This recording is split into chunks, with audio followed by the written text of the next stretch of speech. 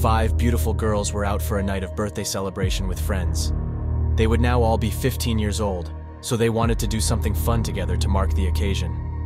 Sadly, this night would be a complete nightmare with a tragic ending. This is the fatal breakdown of the Polish escape room tragedy. Five teenage friends were planning a fun night at a popular escape room in town. It was a celebration for one of their birthdays, so they wanted to do something special to mark the occasion.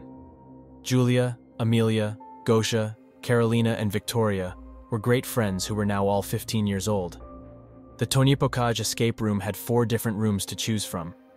There was a club party room, where you closed down the night and missed hearing last call.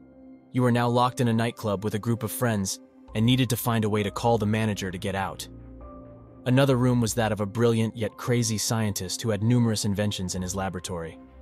You need to steal his secret plans and escape to become a millionaire. The third room was an old uncle who had died and left you the house. After some exploring, something in the house won't let you leave. Uncle's secret must be revealed to get out of the house. The last room was a murder scene that has been unresolved. You're asked to locate a briefcase of evidence and solve the case. These all sounded like exciting adventures for the girls, so they consulted with the guy who was working the front reception room. His job as host was to help to reset the rooms after guests had completed their escape. Alex also sold the tickets and monitored the rooms to make sure everything was okay. They picked a room and settled the tickets before heading into their adventure. The host wished them good luck and locked the door. In order to escape the room, they would have to find all the clues, solve the riddles, and locate the key to unlock the door. They had a one hour time limit to successfully get out before the host would call time and unlock the door. He returned to his duties in the reception area while the girls got to work. It was a cold January night in Koszalin, Poland.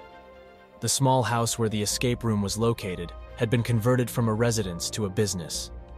The windows in the rooms had all been boarded up and covered with furniture and decorations for the scenes in each room. This small space was kept warm with a heater in the reception area. This type of heater used exchangeable gas containers inside the unit.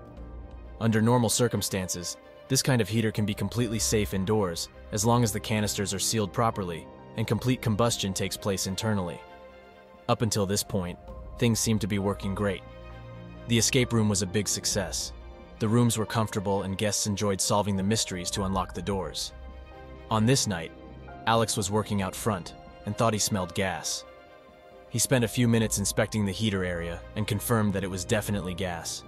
He opened up the system to look at the canister, maybe to adjust or tighten the connection.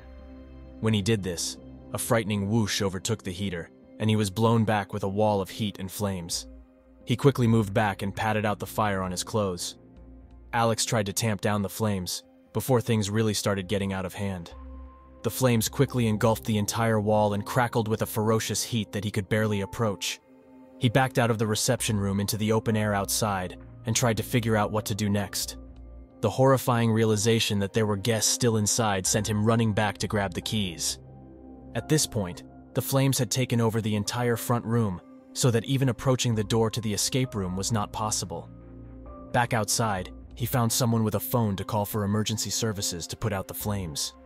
Inside the escape room, the girls had started off feeling giddy with excitement. The room was extensively decorated with antique looking furniture and old paintings, all the kinds of things you'd see in an old mansion.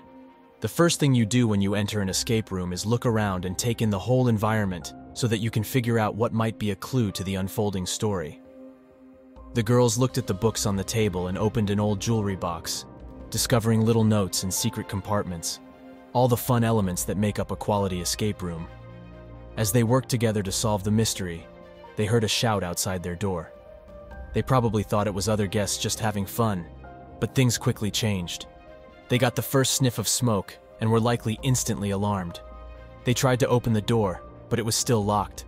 They banged and screamed to get someone's attention, but the door just kept getting warmer and warmer.